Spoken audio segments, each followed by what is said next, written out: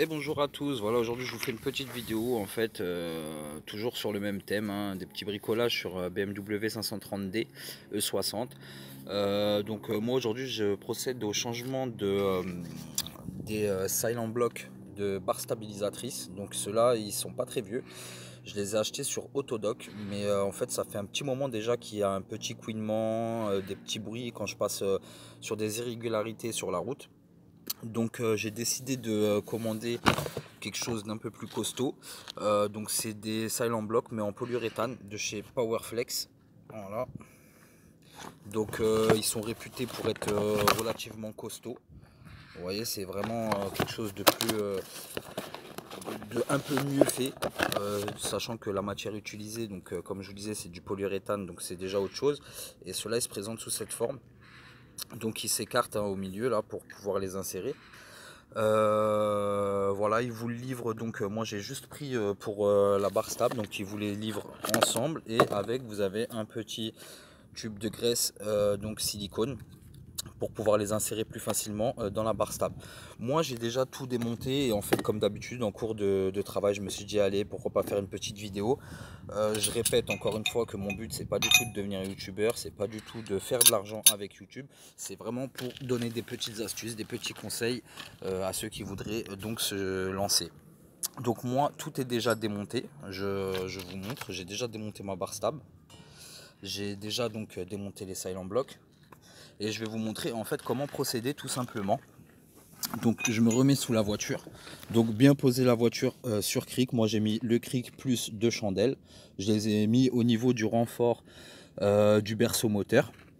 Donc pour euh, pouvoir accéder, enfin démonter en réalité la barre stable, il n'y a pas grand chose à faire. Vous avez quatre boulons de 13 à enlever à ce niveau là, ici et là-bas c'est euh, là où, euh, où est maintenue la barre stable.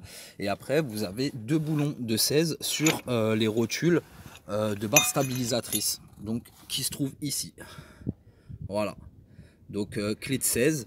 Si jamais vous avez du mal parce que ça tourne en rond, sachez que dans les biellettes, vous avez une encoche pour mettre une clé à laine. moi j'ai pris une clé à œil voilà, clé à œil, clé à laine. Et voilà, c'est sorti tranquillement. Donc euh, voilà, j'ai tout déposé. Moi, j'ai déjà tout nettoyé. Je vous montre.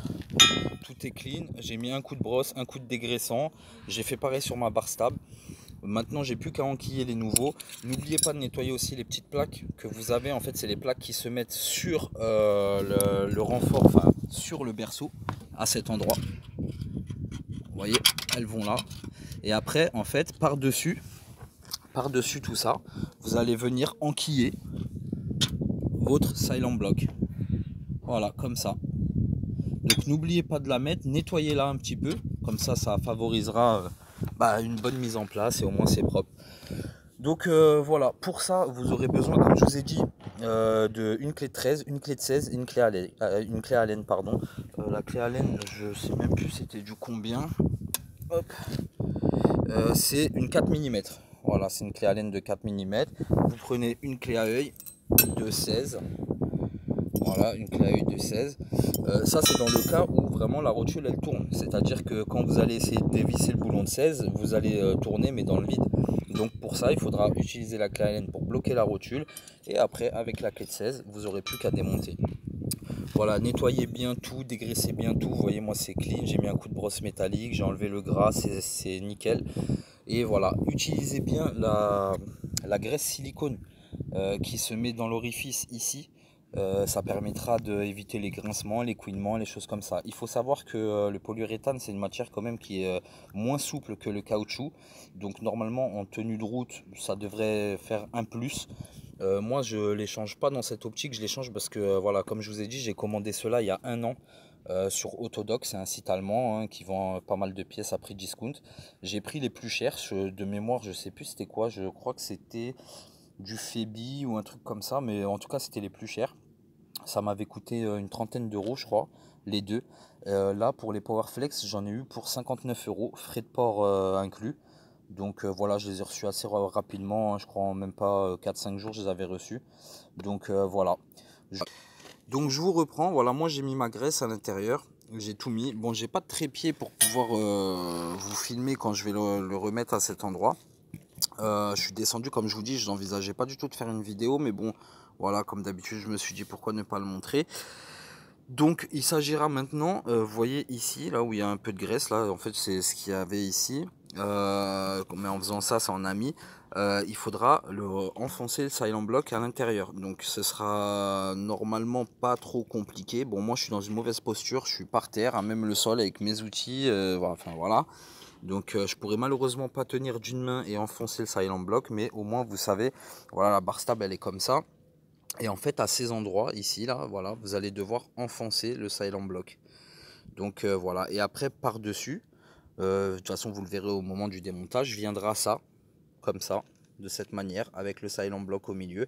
Et puis vous aurez plus qu'à visser là et là en mettant bien sûr les petites plaques que je vous ai montré tout à l'heure. Voilà. Donc voilà, moi les amis, j'ai déjà tout installé. Comme vous pouvez voir, j'ai mes silent blocks qui sont mis. Et j'ai déjà mis la petite plaque, euh, vu que j'ai mis de la graisse, bah, du coup euh, elle reste collée, elle reste plaquée. Donc j'ai fait pareil des deux côtés. Euh, maintenant, il ne me restera plus qu'à la mettre en place. La boulonnée avec les deux boulons de 13, comme je vous l'ai dit.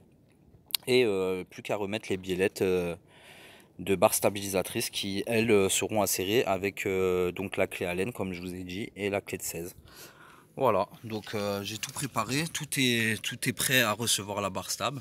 Voilà, vous voyez, elles vont ici, là, à cet endroit. Là et là. Donc euh, voilà, une fois terminé, je vous montrerai le résultat. Et j'espère que j'aurai pu ces fameux bruits euh, qui sont vachement gênants. Voilà. Donc voilà, euh, je l'ai installé.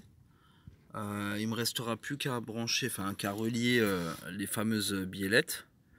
Vous voyez là en fait, ça bouge encore. J'ai pas serré parce que j'attends de mettre les biellettes.